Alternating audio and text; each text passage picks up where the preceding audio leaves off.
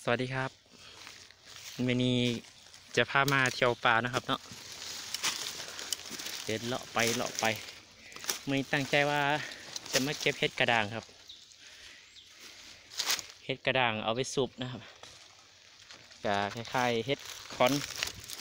เห็ดคอนขาวนะแต่ว่าไอ้นี้มันออกตามคอนจิกคอนหั่งครับ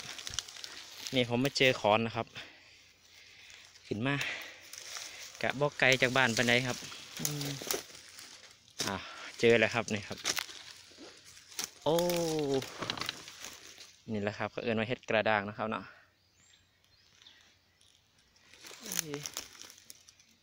มีทีเดียวนะขอนหักไปแซงทางใดแน่เนาะเนี่ยมีอีกบ่เนาะ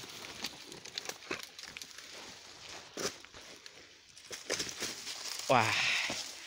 เจออีกแล้วครับ เนี่ยครับเห็ดกระด้างครับอื้อกำลังกำลังงามเลย อยู่บนเขานะครับ เนาะเก็บตามภูเขาครับ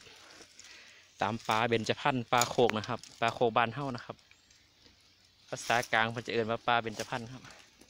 นี่ครับ ได้แค่นี้นะครับไอเห็นนี่ครับ แล้วก็ได้ประมาณโลสองโลเลยคิดว่าครับ